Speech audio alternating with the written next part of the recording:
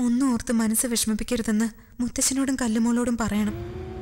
എനിക്കൊരു കുഴപ്പവും ഇല്ല ഇവിടെ എന്നെക്കുറിച്ച് ഓർത്ത് നിങ്ങൾ ആദ്യ പഠിക്കുന്നതാ എനിക്ക് സങ്കടം. അമ്മ എന്തൊന്നും പറയാത്ത? ഞാനെന്ത് പറയാനാ? തീരെ സഹിക്കാതെ വന്നാ എന്റെ മോളിങ്ങ് പോരണം. കേട്ടോ? ഉള്ളതിന്റെ പങ്ക് കഴിച്ച് നമുക്കിവിടെ ജീവിക്കാം. ശരി ഞാൻ ഫോൺ വെക്കുക ശരി.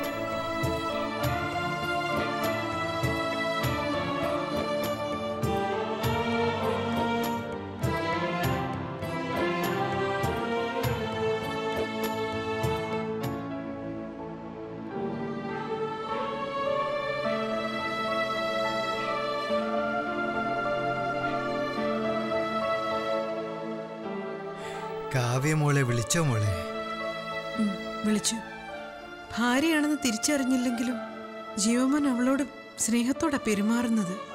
അതെങ്ങനെ ശരിയാകും? ഭാര്യ അല്ലെങ്കിൽ പിന്നെ അവൾ ആരാ അവന്റെ ഇതേ ചോദ്യം ഞാനും ചോദിച്ചപ്പോ അവൾ എന്നോട് ഉരുണ്ട് കളിക്കുക അവൾ പറഞ്ഞാലൊന്നും എനിക്ക് തീരെ വിശ്വാസമില്ല നമ്മൾ വിഷമിക്കണ്ടെന്ന് കരുതി അവൾ കള്ളം പറയായിരിക്കും. നമ്മൾ ഈശ്വരമഠം വരെ ഒന്ന് പോയാ സത്യം എന്താണെന്ന് അറിയാൻ പറ്റുമല്ലോ? അതവൾ സമ്മതിക്കുന്നില്ലല്ലോ? ജീവമോ നമ്മളെ തിരിച്ചറിയാതെ പെരുമാറുന്നത് നമുക്കും അവക്കും സഹിക്കില്ല എന്ന്. വലിയ വലിയ സങ്കടങ്ങൾ എന്റെ മോൾ മനസ്സിൽ ഒളിക്കുന്നുണ്ടാവും. അതെനിക്ക് ഉറപ്പാ. എങ്കിൽ ഈശ്വരമഠം വരെ ഞാനൊന്ന് പോയാലോ? അച്ഛന്റെ മുഖത്ത് നോക്കി നിങ്ങൾ ആരാന്ന് അവൻ ചോദിച്ച? അച്ഛന് സഹിക്കാൻ പറ്റുമോ പറ്റും. ഒരു കഥകളി കലാകാരൻ എന്ന നിലയിൽ എനിക്ക് ഈശ്വരമഠത്തിലെത്താൻ പറ്റും. കാവ്യമോളുടെ വിവാഹത്തിന് മുമ്പേ വിജയലക്ഷ്മിക്ക് എന്നെ അറിയാമായിരുന്നല്ലോ. ആ ബന്ധം പുതുക്കാൻ വന്നതാണെന്ന മട്ടിൽ ഞാൻ അവിടെ ചെന്ന് കയറും. ചെയ്യുന്നതൊരു കള്ളപ്രവൃത്തിയാണെന്ന് ഓർത്തോണം. അധിക നേരം കള്ളത്തരങ്ങൾ പറഞ്ഞു പിടിച്ചു നിൽക്കാൻ അച്ഛന് കഴിയോ? എന്റെ മോൾ അവിടെ ഒരു കച്ചിത്തുരുമ്പില പിടിച്ചു കിടക്കുന്നത് നമ്മുടെ സ്നേഹക്കൂടുതൽ കാരണം അവക്ക് ആ പിടിവള്ളി കൂടി ഇല്ലാണ്ടാവരുത്. ഈശ്വരമഠത്തിലെ ചേച്ചിയുടെ അവസ്ഥ എന്താണെന്ന് നേരിട്ട് അറിയണമെങ്കിൽ ഇങ്ങനെ എന്തെങ്കിലും സൂത്രം പ്രയോഗിച്ചേ പറ്റൂ അമ്മ. കാര്യം നടക്കാൻ വേണ്ടി ഭഗവാൻ വരെ നുണ പറഞ്ഞിട്ടുള്ള കഥ നിങ്ങൾ തന്നെയല്ലേ എനിക്ക് പറഞ്ഞു തന്നത്. കല്ലുമോൾ പറയുന്നത് നേരാ സേതു. നമ്മുടെ ഉദ്ദേശം നല്ലതായതുകൊണ്ട് പതറാതെ പിടിച്ചു നിൽക്കാൻ എനിക്ക് പറ്റും. കാവ്യമോളെ ബുദ്ധിമുട്ടിക്കാതെ തന്നെ ഞാൻ അവളുടെ അവസ്ഥ അറിഞ്ഞു വരാം.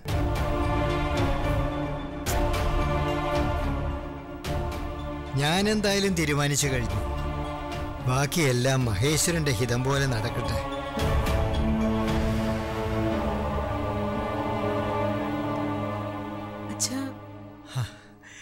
നീ വിഷമിക്കണ്ട മോളെ.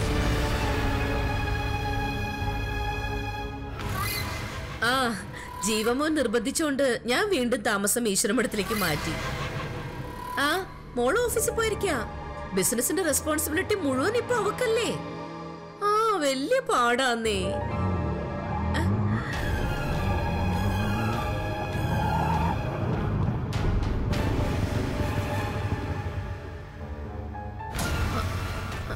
എത്രയായി?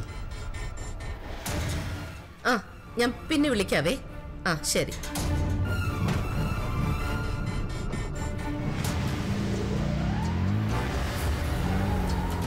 ആ മൂപ്പീന്ന് ഇത്ര ധൃതി പിടിച്ച് എങ്ങോട്ടാ? എനിക്ക് ജീവമോനെ ഒന്ന് കാണണം. ജീവമോനോ? ഏത് വകയിലാ മൂപ്പിനെ അവൻ നിങ്ങളുടെ മോനാവുന്നത്? ഏ? ജീവിതത്തിന്റെ പല ഘട്ടങ്ങൾ കടന്ന് വാർദ്ധക്യത്തിലെത്തുമ്പോൾ മനുഷ്യന് ഒരു അപൂർവ സിദ്ധി ലഭിക്കും. തങ്ങളെക്കാൾ ചെറുപ്പമായവരെ മക്കളായി കാണാനുള്ളൊരു സിദ്ധി. ജീവ മാത്രമല്ല ഈശ്വരമഠത്തിൽ വിജയലക്ഷ്മി ഒഴിച്ചുള്ള മറ്റെല്ലാവരും എനിക്ക് മക്കളാണ് നിങ്ങളുടെ കഥാപ്രസംഗം ഒന്നും ഇവിടെ ആർക്കും കേൾക്കണ്ട. വേഗം സ്ഥലം വിടാൻ നോക്ക്. ഇല്ല ഇന്നരെ ഞാൻ ജീവമോനെ കണ്ടിട്ടേ പോകൂ. നടക്കില്ല. അവൻ ഓർമ്മയില്ലാത്ത ആരും അവനെ കാണാൻ ഞങ്ങൾ അനുവദിക്കില്ല. ജീവമോന് ഭാര്യയുടെ മുത്തശ്ശൻ എന്ന നിലയ്ക്ക് എന്നെ തിരിച്ചറിയാൻ കഴിയില്ലായിരിക്കും. പക്ഷേ ഒരു കലാകാരൻ എന്ന നിലയ്ക്ക് കലാമണ്ഡലം കൃഷ്ണൻകുട്ടിയെ അവൻ അറിയും. പ്രശസ്തി പത്രങ്ങൾക്കും കീർത്തിമുദ്രകൾക്കും പുറമെ നാടറിയുന്ന നാട്ടുകാരറിയുന്ന ഒരു സൽപ്പേരുണ്ട് എനിക്ക് ആ പേര് ഒരു അഭിനേതാവ് തീർച്ചയായും കേട്ടിരിക്കും. നിങ്ങൾ വലിയ പ്രശസ്തനും പ്രഗത്ഭനും ഒക്കെ ആയിരിക്കും.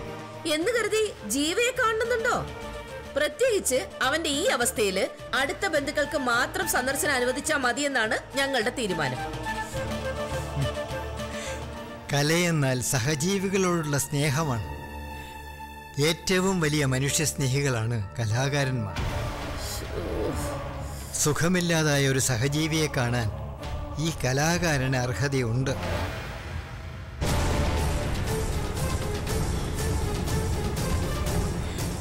അവനുമായുള്ള മുൻ പരിചയത്തെക്കുറിച്ചൊന്നും ഞാൻ സംസാരിക്കില്ല.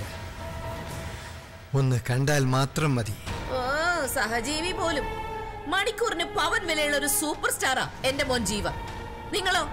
കാൽക്കാശിന് വകയില്ലാത്ത ഒരു ദരിദ്രവാസി.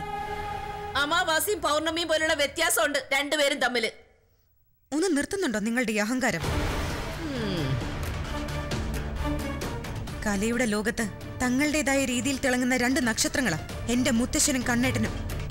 അമാവാസിയല്ല. സൂര്യനെ വിഴുങ്ങാൻ ശ്രമിക്കുന്ന രാഹുകേതുക്കളാ നിങ്ങളും നിങ്ങളുടെ മോളും. വയ്യാതെ കിടക്കുന്ന കണ്ണേട്ടനെ കാണാൻ ആഗ്രഹിച്ചാണ് ഈ പ്രായത്തിലും ബുദ്ധിമുട്ടി എന്റെ മുത്തശ്ശൻ ഇവിടെ വന്നതെങ്കിൽ കണ്ടിട്ടേ മടങ്ങൂ. തടയാൻ പറ്റുമെന്ന് നിങ്ങളൊന്ന് ശ്രമിച്ചു നോക്ക്. വാ മുത്തശ്ശ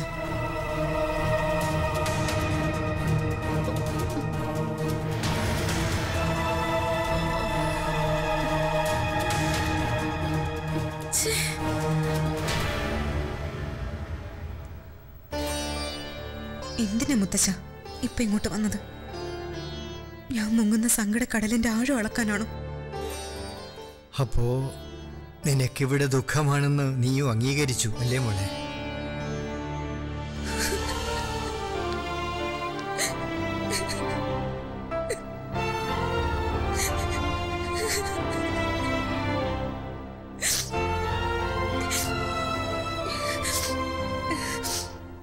മുത്തശ്ശൻ തിരിച്ചു പോണം. ഒരു വാശിക്ക് കണ്ണേടനെ കാണിക്കുമെന്നൊക്കെ അവരോട് പറഞ്ഞെങ്കിലും അത് ശരിയാവില്ല. മുത്തശ്ശന്റെ മനസ്സിലുള്ള ജീവമുണ്ട് തിഴൽ പോലും ഇപ്പൊ ഈശ്വരമഠത്തിലില്ല. എന്നാലും ഞാൻ അവനെ കണ്ടിട്ടേ മടങ്ങൂ. ബന്ധത്തെക്കുറിച്ചൊന്നും ഞാൻ സംസാരിക്കില്ല മോളെ. അവനെ കാണാൻ വന്ന ഒരു കലാകാരനായേ പെരുമാറൂ. സേതുവിനോട് ഞാൻ പറഞ്ഞത് നിന്റെ ഇവിടുത്തെ അവസ്ഥ അന്വേഷിക്കാൻ വരുന്നു എന്നാ? പക്ഷേ മുത്തശ്ശൻ വന്നത് അതിനല്ല മോളെ. പിന്നെ? മുത്തശ്ശനെ കാണുമ്പോൾ ഒപ്പം പങ്കിട്ട നല്ല നിമിഷങ്ങളിൽ ഏതെങ്കിലും ഒന്ന് മോൻ ഓർത്താലോ? കഥ പറഞ്ഞും പാട്ടുപാടിയും കുസൃതി കാട്ടിയും ഒരുപാട് നല്ല മുഹൂർത്തങ്ങൾ ഈ മുത്തച്ഛന് തന്നവനല്ലേ? അങ്ങനെ അങ്ങ് മറന്നു പോവോ എന്നെ.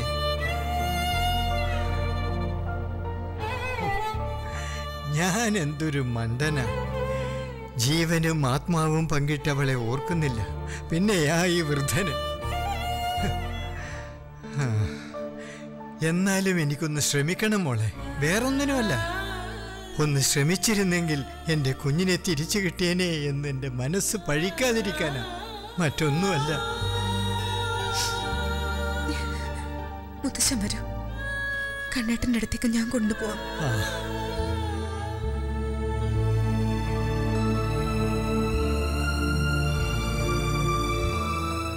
ഹോംനെസ് ഉണ്ടാക്കുന്ന ഭക്ഷണത്തിന് നല്ല രുചിയൊക്കെ ഉണ്ട്. പക്ഷേ ആ മുതിരക്കഞ്ഞിയും ചെറുപയർ മുളപ്പിച്ചതും അത് കഴിക്കാൻ ഇത്തിരി പാട് തന്നെ മുതിരയും ചെറുപയറും ഓർമ്മശക്തി വർദ്ധിപ്പിക്കാൻ നല്ലതാകണ്ണ ഓർമ്മശക്തിക്കോ? അതിന് എന്റെ മെമ്മറിക്ക് പ്രത്യേകിച്ച് കുഴപ്പമൊന്നുമില്ലല്ലോ. അത് പിന്നെ ഓർമ്മശക്തി എന്നല്ല ഓർമ്മയും ശക്തി എന്നാ ഞാൻ പറഞ്ഞത്.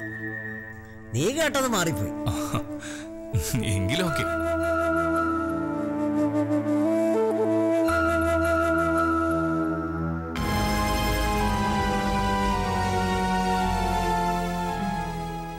കാണാൻ ഒരാൾ വന്നിട്ടുണ്ട്. എന്നെയോ? അതെ.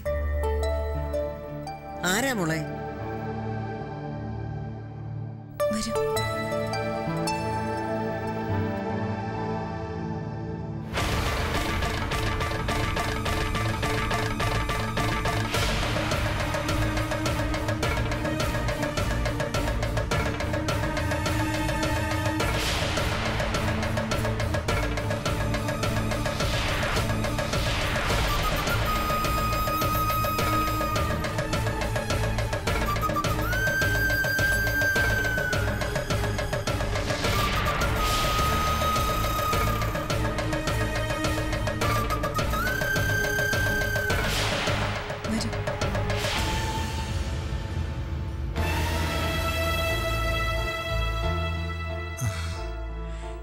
എന്നെ മോന് പരിചയമുണ്ടോ? എവിടെയോ കണ്ട പോലെ ഈ മുഖം. എനിക്കറിയാലോ. ഒന്ന് ഓർത്തു നോക്ക്.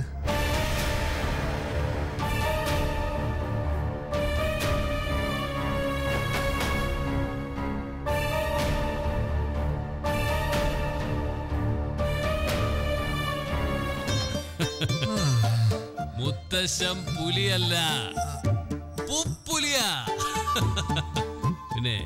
ഈ താടി കാണുമ്പോഴേ എനിക്കൊരു ഉമ്മ വച്ചു തരാൻ തോന്നുന്നുണ്ട്. തരട്ടെ? മൗന സമ്മതം.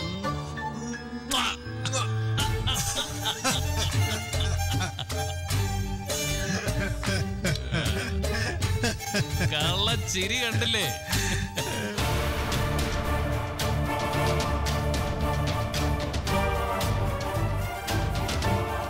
ഒരു കലാകാരനാണ്. ഐ എം ഷുവർ കലാകാരൻ മാത്രമല്ല. പിന്നെ? കലാമണ്ഡലം കൃഷ്ണൻകുട്ടി എന്നാ എന്റെ പേര്. കഥകളി ആചാര്യൻ കൃഷ്ണൻകുട്ടി ആശാൻ.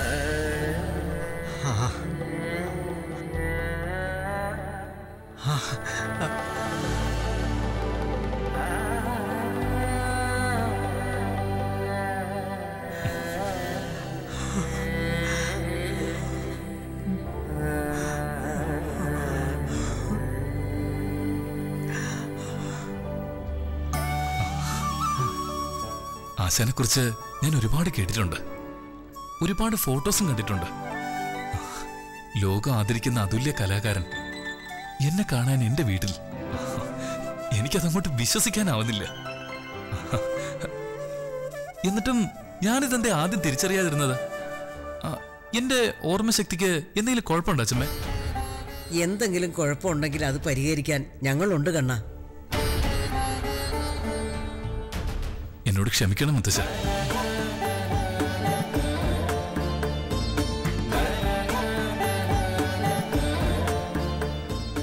മോനെന്താ വിളിച്ചത്?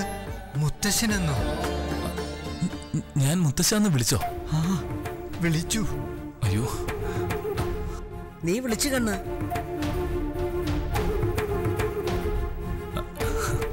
സോറി ഞാൻ പെട്ടെന്ന് അറിയാതെ അതിനൊന്നും ഒരു കുഴപ്പമില്ല. ഞാൻ മുത്തശ്ശൻ തന്നെയാ. അങ്ങനെയേ വിളിക്കാവൂ. അതാണ് ശരി.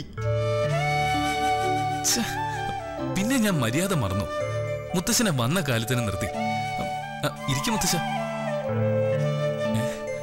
ഞാനെന്താ അച്ഛമ്മേ ഇദ്ദേഹത്തെ പിന്നെയും പിന്നെയും മുത്തശ്ശ എന്ന് വിളിച്ചോണ്ടിരിക്കുന്നേ? അങ്ങനെ വിളിച്ചോളാൻ ഇദ്ദേഹം അനുവാദം തന്നില്ലേ കണ്ണ?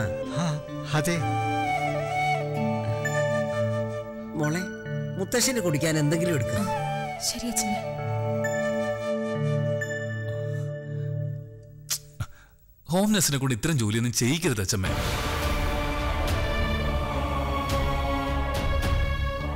ഹോം നേഴ്സോ അതെ. നല്ല കുട്ടിയാ. എന്റെ അച്ഛമ്മയുടെ ഇഷ്ടങ്ങളൊക്കെ ഒരു പരാതിയും പരിഭവവും ഇല്ലാതെ ഒരുക്കി തരും. ആ കുട്ടി ഇരുപത്തിനാല് മണിക്കൂറും കഷ്ടപ്പെടാൻ തയ്യാറാ. എന്ന് കരുതി നമ്മൾ കൂടുതൽ ജോലികൾ ചെയ്യിക്കാൻ പാടുണ്ടോ മുത്തശ്ശ പിന്നെ മുത്തച്ഛൻ എവിടെയാ താമസിക്കുന്നത് മരുമോളുടെയും പേരക്കുട്ടികളുടെയും കൂടെയാ. കലാക്ഷേത്ര എന്ന് പറയും. കലാക്ഷേത്ര.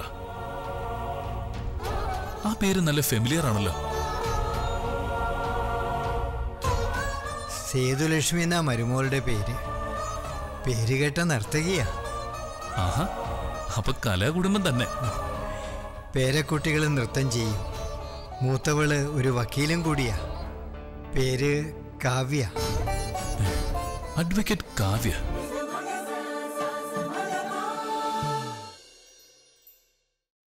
സേതുലക്ഷ്മി എന്നാ മരുമോളുടെ പേര്. പേര് കേട്ട നർത്തകിയാ. ആഹാ അപ്പൊ കലാകുടുംബം തന്നെ. പേരക്കുട്ടികൾ നൃത്തം ചെയ്യും.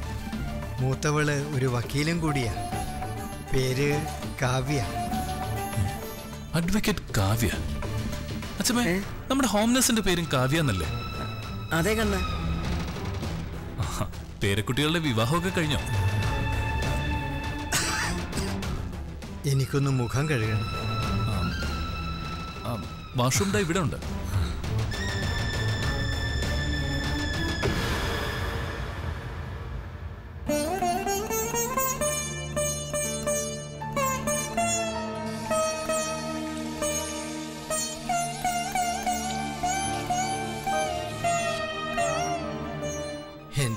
മഹേശ്വര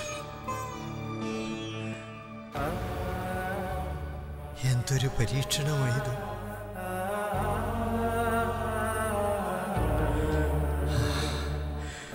മോളെ അമ്മ പറഞ്ഞതുപോലെ നീ ഒരു നേർത്ത കച്ചത്തുരുമ്പിലാ പിടിച്ചു നിൽക്കുന്നതെന്ന് മുത്തശ്ശന് ബോധ്യായി. ഞാനായിട്ട് ആ പിടിവള്ളി ഇല്ലാതാക്കില്ല.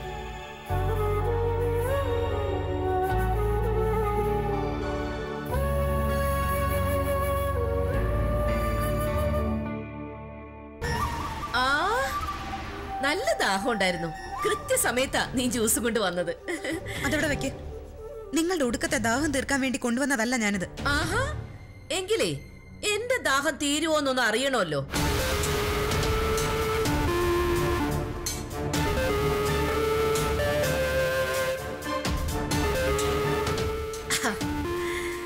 എന്റെ ദാഹം തീർന്നു കാവ്യമോളെ പ്രിയപ്പെട്ട മുത്തശ്ശന് ഇനി സൽക്കരിക്കണമെങ്കിൽ ജ്യൂസർ ഒന്നുകൂടി പ്രവർത്തിപ്പിക്കേണ്ടി വരും. ജീവയ്ക്ക് ഓർമ്മയുണ്ടോ എന്ന് പരീക്ഷിക്കാൻ ആ കിളവനെ നീ വിളിച്ചു വരുത്തിയതാണെന്ന് എനിക്കറിയാം. ഇനി നിന്റെ വീട്ടിൽ നിന്ന് ഓരോരുത്തരെയായി ഇവിടെ കൊണ്ടുവന്ന് പ്രതിഷ്ഠിക്കാനാണ് നിന്റെ ഭാവമെങ്കിൽ അത് വേണ്ട. ഒറ്റയടിക്ക് ഞാൻ തന്നെ എല്ലാം നശിപ്പിച്ചു കളയും. ഈശ്വര മഠത്തിൽ എന്തൊക്കെ നടക്കണമെന്ന് വിധിച്ചിട്ടുണ്ടോ? അതൊക്കെ നടന്നിരിക്കും. എന്നെ കണ്ണേട്ടനിൽ നിന്ന് അകറ്റാൻ നിങ്ങൾ ഒരുപാട് ശ്രമിച്ചതല്ലേ? എന്നിട്ട് എന്തായി? വല്ലതും നടന്നോ? ഇനിയെങ്കിലും മനസ്സിലാക്ക. നിങ്ങൾക്കൊന്നും ചെയ്യാനാവില്ലെന്ന്. ഒന്നും. നല്ലതൊന്നും എനിക്ക് ചെയ്യാൻ കഴിയില്ലെന്ന് ഞാൻ സമ്മതിക്കുന്നു. പക്ഷേ നിന്റെയും അമ്മയുടെയും സ്വപ്നങ്ങളൊക്കെ തകിടം മറിച്ച് ഈശ്വര മഠത്തിന് മേൽ കരുനിഴൽ വീഴ്ത്താൻ ഈ ഇന്ദിരാഭായിക്ക് പറ്റും. സൃഷ്ടിക്കാനും പുലർത്താനുള്ള കഴിവില്ലെങ്കിലും ഏതു നിമിഷവും സംഹരിക്കാനുള്ള ശേഷി ഇപ്പോഴും എനിക്കുണ്ട്. നിങ്ങൾക്ക് പറ്റുന്നതേ. ഈ വാചകവടി മാത്രം. ഇപ്പോ ഈ നിമിഷം കണ്ണേട്ടനെ സ്വാധീനിക്കാൻ അച്ഛമ്മയ്ക്കോ എനിക്കോ പറ്റുന്നത് പോലെ നിങ്ങളുടെ മകൾക്ക് പോലും സാധിക്കില്ല. വേണ്ട കാവ്യേ. അവന് മേൽ ഒരു സ്വാധീനവും എനിക്ക് ആവശ്യമില്ല. പക്ഷേ കഴിഞ്ഞ നാലു വർഷത്തിനിടയിൽ നടന്നതെല്ലാം ഒരു കഥ പോലെ ഞാൻ ജീവയോട് വിളിച്ചു പറഞ്ഞാൽ എന്താ സംഭവിക്കാന്ന് ഡോക്ടർ നിന്നോട് പറഞ്ഞതല്ലേ?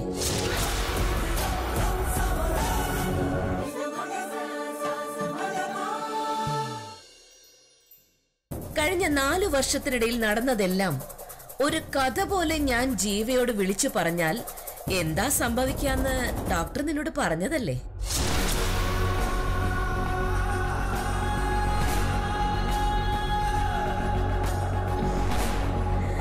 അവന്റെ തലച്ചോറിലെ കോശങ്ങൾ ഇളകി മറിയും. കലപില കൂട്ടി കലഹിച്ച് തമ്മിലടിച്ച് ചാവും. ഫലം നിന്റെ കണ്ണേട്ടൻ എന്നേക്കുമായി കോമ സ്റ്റേജിൽ. അല്ലെങ്കിൽ അവന്റെ ജീവിതം പിന്നെ എന്നും ഭ്രാന്താശുപത്രിയുടെ സെല്ലിന്റെ ഇരുട്ടിൽ. ആ കാഴ്ച കാണണോ നിനക്ക്?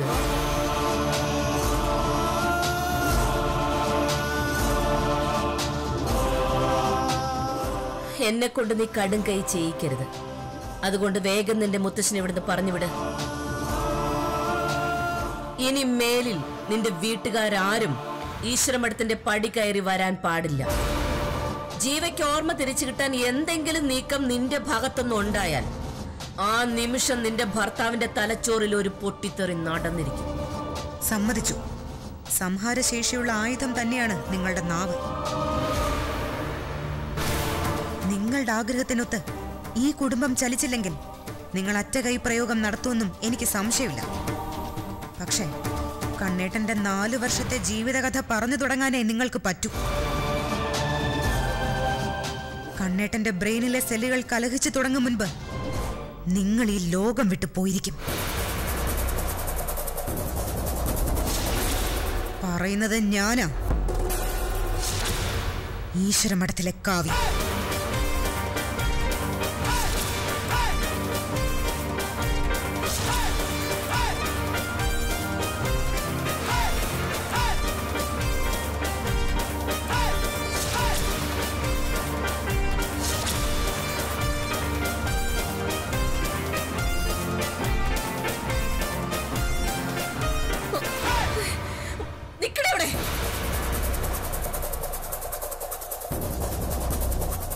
നീ പറഞ്ഞതിന്റെ അർത്ഥം എന്താടി? എന്നെ കൊല്ലൂന്നല്ലേ അതെ അങ്ങനെ തന്നെയാ അർത്ഥം.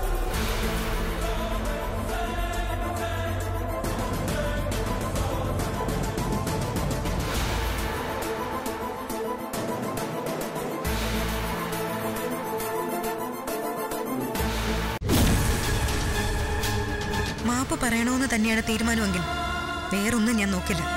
ഞാനിവിടെ നിന്ന് ഇറങ്ങി പോവുക തന്നെ ചെയ്യും.